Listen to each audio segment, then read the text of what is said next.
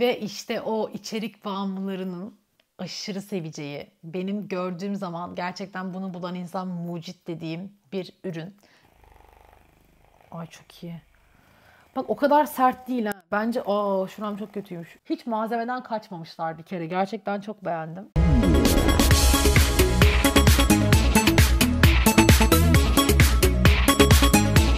Merhaba, hoş geldiniz. Yıllar sonra ilk defa bir ürün incelemesi videosu yapıyorum. Gerçekten o kadar çok istediniz ki ve ben de neden yapmıyorum diye düşünmeye başladım. Yani aslında sebebi var. Eskisi kadar asla hiçbir şey almıyorum. Yani ıvır zıvır eşya alma yüzdemi gerçekten acayip azalttım. Bundan dolayı da çok memnunum. Çünkü özellikle Hollanda'ya taşınırken eşyalarımı toplarken hani sinir krizi geçirdim. Yani bunu neden aldım? Bunu aldım hadi neden bundan 3 tane aldım? Yani kullanmıyorum ve gerçekten bir tüketim manyağı olmuştum. Dedim ki birazcık bunu azaltayım. Ve ürün incelemesi videoları da tabii buna çok yardımcı olmuyordu takdir edersiniz ki. Manyak gibi ürün alıp hani bunu meşrulaştırmıştım. Yani alıyorum ya işte ürün inceliyorum, video çekiyorum falan. Hani siz de seviyorsunuz. Ay bir dakika susadım.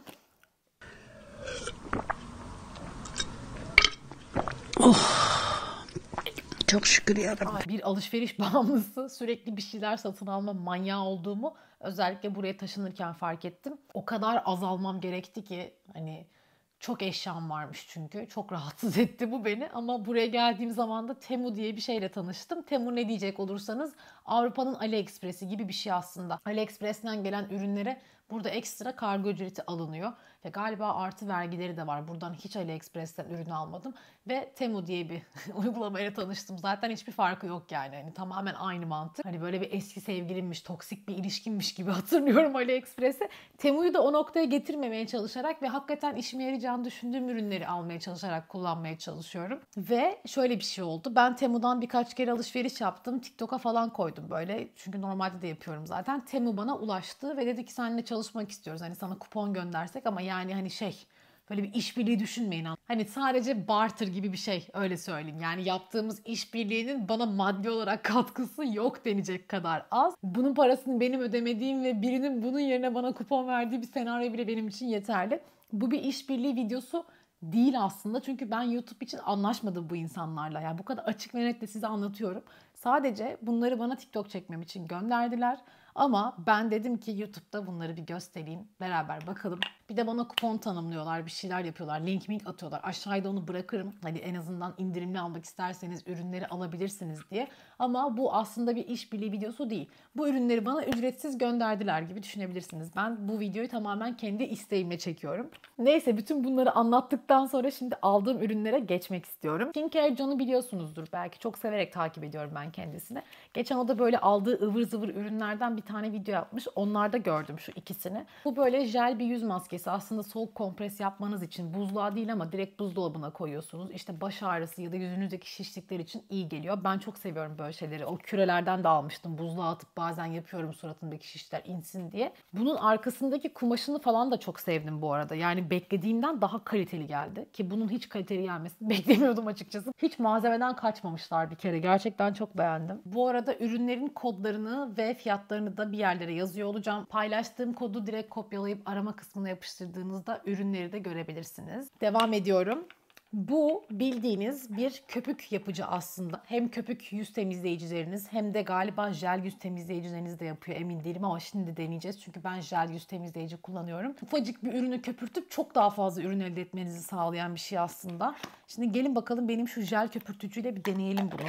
Şimdi şöyle şu kadar bir su koydum. Yani ne kadar su koymam lazım hiçbir fikrim yok ve bu jel formundaki bir şeyi niye mesela hani köpürtsün ondan da emin değilim. Bence ben yanlış biliyorum. Bence sadece köpük formundaki şeyleri köpürtüyor ama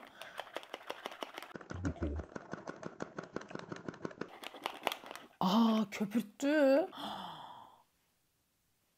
Bu inanılmaz iyi. Bu gerçekten çok iyi bir ürünmüş. Aa, bundan hemen alın. Güne kadar aldığım en uygun fiyatlı en iyi şeylerden biri olabilir. Bunu kesin alın. Bunu çok beğendim. Bu üçüncü ve son bakım ürünümüz ise bir fırça temizleyici ve aynı zamanda fırça kurutucu. Şöyle ben fırça yani makyaj fırçası temizlemek benim için gerçekten çok zor bir şey ve nefret ediyorum. Ya bence kimsenin sevdiğini de düşünmüyorum ve ne yazık ki zorundayız biraz da. Ve hatta daha da sık yapmalıyız diye düşünüyorum. Yani ben herhalde aylardır fırçalarımı temizlemiyorum diyebiliriz. Şimdi bu ürün şöyle çalışıyor. Bu içine normal işte neyle yıkıyorsanız artık neyle yıkıyorsanız o temizleyici suyu falan koyuyorsunuz. Buradaki tırtıklı yüzeylerinden zaten biliyorsunuz klasik fırçalarınızı böyle sürttüre sürttüre yıkıyorsunuz. Sonra bunu ters çeviriyorsunuz ve burada görmüş olduğunuz yere fırçalarınızı saplayarak fırçalarınızın tek bir yerde dikey bir şekilde kurumasını sağlayabiliyorsunuz. Böyle 2 metre boyunca havlu serip tek tek onları koymak zorunda kalmıyorsunuz. Bu açıdan benim biraz hoşuma gitti. Hani böyle hepsini tek bir yerde dik bir şekilde saplasanız, 2 dakika güneşe koysanız bence çok iş görür. O yüzden böyle bir şey aldım. Umarım daha fazla fırça yıkarım bunun sayesinde. Bu bence aşırı mantıklı bir şey. Yani görür görmez sepete attım. Bir dakika bile sorgulamadım seyahat boyu yanınıza, çantanıza, valizinize atabileceğiniz bir takı çantası. İşte küpenizdir, yüzüğünüzdür, kolyenizdir. Bir kere kolye yani ben her şeyi bir şeyin içine atıyorum sonra bir çıkarıyorum valizden. Kargacık burgacık olmuş. Şeylere koyuyorum genelde o küçük böyle takı bohçaları oluyor ya o bohçanın içine atıyorum ve rezalet bir hale geliyorlar. O yüzden bence bu aşırı mantıklı bir ürün ve çok sevdim ve kaliteli duruyor yani. Hani ne kadar kaliteli olması gerekiyorsa o kadar kaliteli duruyor. Bunu da çok beğendim. Aşırı tatlı, çok kompakt bir ütü aldım. Yani bu arada kablosu hani bildiğiniz tefal ütü kablosu. Yani bunu herhalde zorunlu olduğu için böyle yaptılar diye düşünüyorum. Mecbur kaldıkları için yapmış oldukları bir şey. Hani tehlikeli olmasın falan diye bir regülasyonu vardır diye düşünüyorum. Ee, onun haricinde ütü de çok boktan durmuyor bu arada. Şöyle altında bayağı leme görevini güzel yapabilecek gibi gözüken bir taban var. Ve buharlı bir aynı zamanda. Şöyle şunu şuraya doğru çekiyorsunuz. Şurada su koyma yeri var. Buraya su koyuyorsun ve daha sonra kıyafetinizi ütülüyorsunuz. Yani boyutu benim ellerim çok küçüktür bu arada. Hani boyutu benim elimin içi kadar. Şimdi gelin deneyelim bakalım bu gerçekten işe yarıyor mu? Çünkü bunu hakikaten merak ediyorum. Şöyle bir tişörtümüz var. Şuralar düz ama aşağıya doğru buruşmuş. Bakalım bunun before after'ı nasıl olacak? bir şey diyeceğim. Ütü beklediğimden çok daha iyi çıktı. Yani bir dakika uğraşmadım. Hani 20 saniye falan uğraştım. Gerçekten normalde uğraşacağım kadar uğraştım. Ve bence sonuca baktığımız zaman hani hakikaten kırışıklıkları azaltmış diyebilirim. Asla ütü yapmayı bilen ve becerebilen bir insan değilim. Ve ona rağmen ufacık haliyle, ufacık tipiyle bence işe yaradı. Bir de verdiği ısı ve buhar cidden makinenin boyutuna göre etkili. E, ufak tefek düzeltmeler yapmanız gerekiyorsa bence inanılmaz iyi bir ürün. Çok beğendim. Devam ediyorum. Şunları hemen aradan çıkarayım yani çok lüzumsuz gibi gözüken saçma sapan bir şey çünkü. Şöyle iki tane e, bere ve şapka asacağınız. Şöyle bakın. Ben berelerimi, şapkalarımı sürekli bir çekmecenin içine böyle tıkıştırıyorum ve asla görmediğim için de kullanmıyorum. Burada hava acayip soğuk olduğu için yaklaşık 7 ay kadar falan benim onları kullanmam lazım. Hani o yüzden biraz gözümün önünde olsunlar ben de opsiyonlarımı görebileyim diye aldım açıkçası. Bir de Burakcan'ın çok şapkası var. Bir tanesini de o kullanır diye düşünüyorum. Devam ediyorum. Ya bu arada en güzel ürünü en sona saklıyorum ki videoyu sonuna kadar izleyin diye. Ya da tabii ki şerefsizlik yapıp sonunda da atlayabilirsiniz. Ama atlamayın, yapmayın. Videoyu sonuna kadar izleyin kardeşim. Beğenmeyi, like atmayı, beğen... Yok. Beğenmeyi, yorum yapmayı... Beğenmeyi, yorum yapmayı, abone olmayı unutmayın. o kadar yaptığım bir şey değil ki bu. Kaç yıldır YouTube'a video koyuyorum yani bir tane videonu falan beğenin demişsindir. Gerçekten hiç huyum değil. Ama artık istiyorum abi. Çünkü YouTube'da gerçekten bu hatırlatmayı yapmazsanız insanlar izliyor geçiyor. Ben de öyle yapıyorum. Bakıyorum bir tane YouTuber buluyorum. Beşinci videosundayım. Ve o arada diyor ki ya bu arada beğenirseniz çok iyi olur falan. Aa diyorum ki ulan hakikaten bir insan emek vermiş. 5 tane videosunu üst üste izlemişim. Demek ki ben bu insanı seviyorum, beğeniyorum. Demek ki benim bu insanın videosunu beğenmem lazım diyorum. Yani bir YouTuber olarak ben bile insanların içeriklerini izlerken bazen beğenmeyi falan unutuyorum. O yüzden hatırlatmak isterim. 5000 abone gibi bir şeyim kaldı 100 bin olmama. Eğer buna yardımcı olursanız beni çok mutlu edersiniz ve başka bir ürüne geçiyorum. Şöyle bir iki tane üç tane ıvır zıvır ıvır zıvır şeyler var. Onları hemen geçmek istiyorum. Şöyle bir tane ot kesme makası aldım. İşte maydanozdur, dereotudur. Daha fazla tüketelim. Çünkü ben onları tek tek ayıklamaya çok üşeniyorum. Şöyle kırt kırt yaparım ve geçer gider diye düşündüm. E, aynı zamanda taze soğanda da bence işe yarar. Böyle bir makas aldım. Yine bir mutfak ürünü olan şöyle renklerini çok beğendim bunların. Yani yoksa zaten işlevi diğerleriyle aynı. Ee, işte cips yediniz bilmem ne ağzını kapatacaksınız. Klips. Açamadım. Şu ot kesme makasını kullanayım. Heh. Şöyle birbirinin içine geçiyorlar. Lego gibi. Paketli yiyeceklerin, ekmeğin, mekmeğin ağzını kapatmak için klips aldım. Renkleri çok hoşuma gitti. Şöyle retro renkler. Ondan sonra ay bu çok tatlı bir şey. Bu bir yaka pini, yaka iğnesi aslında değil mi? Yaka iğnesi aynen. Üstünde My Social Battery yazıyor. İnşallah okunabiliyordur. Benim gibi sosyal bataryası bir etkinliğe, bir buluşmaya gitmeden önce aşırı dolu olup sonra çok hızlı düşen insanlar varsa ki bu yaşla da alakalı insanın yaşı ilerledikçe sosyal bataryası kesinlikle çok daha hızlı tükeniyor. Böyle bunu yakınıza takıp gün içinde sosyal bataryanızın ne kadar düştüğünü insanlara göstererek yavaş yavaş böyle her saat başı bir tık bunu düşürüp daha sonra abi ben gidiyorum diyebilirsiniz. Şimdi benim kanalımı yıllardır izleyenler yani bu tarz ürünlere zaten alışkın. Bunun gibi bir tane masaj tabancası almıştım. Bir de bir tane böyle sırtınıza koyduğunuz bir masaj ürünü almıştım. Bir de bir tane kollarınızla taktığınızı almıştım. Bir ara ben bir masaj aletine takılmıştım yani. Şimdi tekrar aldım çünkü diğerlerini sattım ya da elimden çıkardım buraya gelirken. Ve sonra fark ettim ki burada çok spora gidiyorum. Ee, son iki aydır falan manyak gibi spor yapıyorum burada. Ve spordan sonra laktik asidin dağılması için aslında bunun tabii orijinali Telegan diye bir şey var. Yani on binlerce lira e, aşırı pahalı bir şey. O kadar da profesyonel bir sporcu değilim. Ama spordan geldikten sonra da kaslarımı rahatlatmak ve laktik asit dağılımını hızlandırmak için vücudumda böyle bir şeye ihtiyacım olabilir diye düşündüm. Ve bunun bir diğer özelliği de kablosuz olması. O da benim çok hoşuma gitti. Diğer aldığım kabloluydu ve birazcık bayıktı açıkçası. Şöyle arkasında ufak bir ekranı var. 6. seviyede galiba maksimum. Aynen. Şöyle 6'da maksimum oluyor. Bakıyoruz hemen. Ay çok iyi. Bak o kadar sert değil ha. Bence aa şuram çok kötüymüş. Ay insanın bazen yani farkında olmuyor ama böyle belli bir yerine bir dokunuyorsun acayip ağrısı oluyor ya. Gerçekten az önce öyle bir yer keşfettim. Şuram acayip ağrıyor. Ay bu bastırınca böyle artıyor bunun. Oha bu çok güçlü. Aa manyak bir şey bu. Oha çok iyiymiş. Bir de bunun başlıkları var tabii. Onları da göstereyim. Şöyle bir başlık var. Bunların her biri iğrenç kullanım kılavuzu kağıtlarında çıkıyor tabii ne olduğu da onlara bakacağız. Yarı Çince yarı İngilizce falan muhtemelen. Şöyle bir şey var. Belli noktalarınız ağrıyorsa gibi. Bu, bu şöyle omuriliğe doğru sanırım. Ee, iki noktada da baskı uygulayarak masaj yapabileceğiniz bir başlık. Başka da bir başlığı yok. İyi var. Dört başlığı var. Bazen bunlar bir geliyor böyle 20 tane başlığı var. Hiçbirini de kullanmıyorsunuz. Birazcık keyifsiz oluyor açıkçası. Ama bunu çok beğendim. Beklediğimden çok daha güçlüymüş. Bayağı da şaşırdım yani bu kadar güçlü olmasına. Hatta 6. seviyeyi hani düşünemiyorum yani. 3 tane ürün göstereceğim. Bu 3 üründe benim aslında evde çalışırken çalışma ortamımı daha iyi bir hale getirmeye çalışmak için aldığım ürünler anlatabilmişimdir diye düşünüyorum. Ben evden çalışıyorum ve yani gerçekten çalışma ortamınızın konforlu ve keyifli olması çok önemli. Çünkü bir yerden sonra aşırı sıkılıyorsunuz. Şimdi ben farkındaysanız burada da bağdaş kuruyorum. Ben bacaklarıyla ya bacak bacak üstüne atmak olsun işte bağdaş kurmak olsun bu tarz şeylerin hastasıyım. Yani çok seviyorum. Mutlaka benim bacaklarımın böyle durması lazım.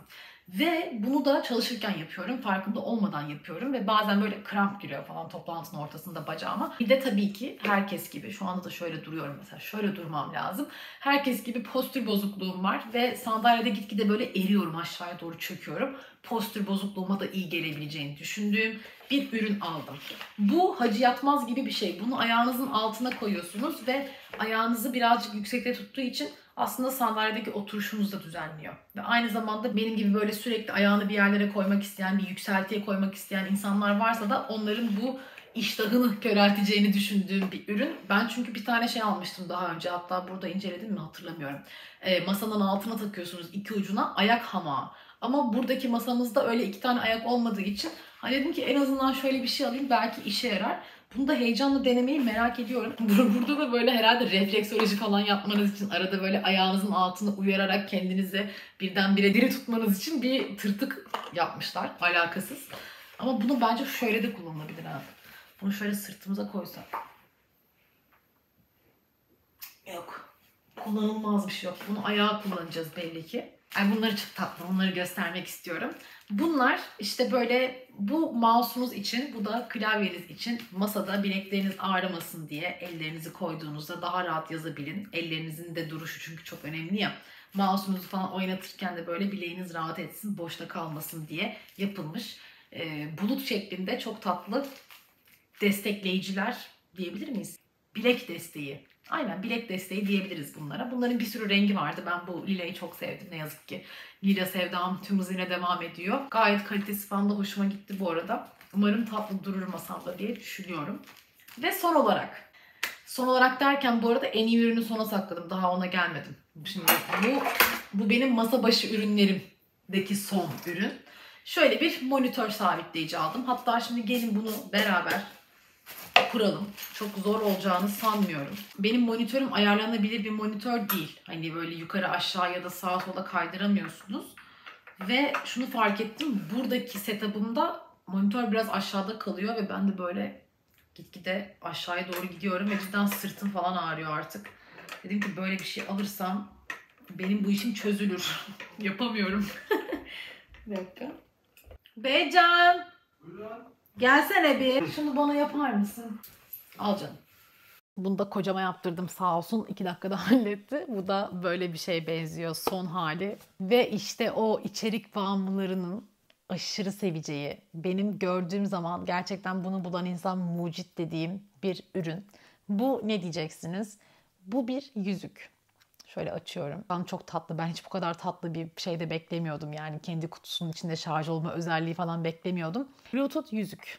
Bunu böyle parmağınıza takıyorsunuz ve telefonunuza bağladığınızda YouTube olur, Instagram olur, TikTok olur artık nereden içerik tüketiyorsanız hiçbir şekilde ellerinizi kullanmadan, telefonunuza dokunmadan yukarı aşağı gidebilmenizi, videonun sesini kısmanızı, arttırmanızı ya da videoyu beğenmenizi, videoyu durdurup tekrardan başlatmanızı yani yapabileceğiniz her şeyi yapabiliyorsunuz. İnanılmaz iyi bir ürün. Çünkü ben mesela makyajımı çıkarırken ya da yemek yaparken bir yandan bir şey izlemeyi çok seviyorum. Ya işte yüzümü foşur foşur yıkıyorum ya ellerim temiz olmuyor ya da ellerim ıslak oluyor. Yani bir şekilde o izlediğim şey tekrar tekrar dönüyor. Aşağı kaydıramıyorum, yukarı kaydıramıyorum. Yani mesela beğenme özelliğinin olması bile inanılmaz. Videoyu beğendiğiniz zaman 3 kere bastığınızda beğenebiliyoruz. Beğeni. Ve bunu bugün reel çekmek için denedim. Gerçekten çalışıyor. 12 euroya mı ne aldım? Şimdi size bunu iPad'den göstereceğim. Geliyorum buraya. Bluetooth'a bağlaya geliyorum. Şöyle uzun süre basıyorum birkaç saniye kadar. Sonra kırmızı mavi ışık yanıyor sönüyor. D02. Bağlanıyoruz. Ya hani eskiden bu şeyler oluyordu ya eski tuşlu iPhone'larda bir süre sonra tuşlar bozuluyor diye şöyle bir şey aktifleştiriyordunuz. Bunu tekrardan aktifleştirmeniz gerekiyor. Yani bayağı şeyde yazıyor. Bu kullanım kılavuzunda yazıyor. Ve daha sonra Buradan mesela TikTok'a girelim şimdi. Aşağı doğru kaydırıyorsunuz. Mesela bu içeriye girdik tamam mı? Beğendim. İndirdim aşağı. Geri dönmek istedim. Hop geri döndüm. Böyle böyle aşağı kaydıra kaydıra kullanabileceğiniz Bence çok iyi bir ürün. Kutusunu da çok beğendim. Yani bu şekilde şarj oluyor oluşu da çok hoşuma gitti. Hani gerçekten kullanışlı mı yoksa acaba şu an çok iyi bir fikir mi diye merak ediyorum. Hem çok kullanıcı dostu hem de çok inovatif bir şey olduğu için benim favorim açıkçası bu ürünlerin arasından bu oldu. Sizin favoriniz hangisi ya da bunlardan herhangi birini daha önce kullandınız mı? Merak ediyorum. Lütfen yorumlara yazın. Sizleri öpüyorum. Umarım keyif almışsınızdır. Uzun bir zaman sonra ben de ilk defa ürün incelemesi çektim. Devamı gelsin isterseniz de lütfen aşağı yorum olarak yazın. Açıklama kısmında bir kod ya da bir link bulabilirsiniz. Eğer onları görürseniz alışveriş yaptığınızda indirim kazanabilirsiniz. Ve sizleri çok öpüyorum. Kendinize çok iyi bakın. Bay bay.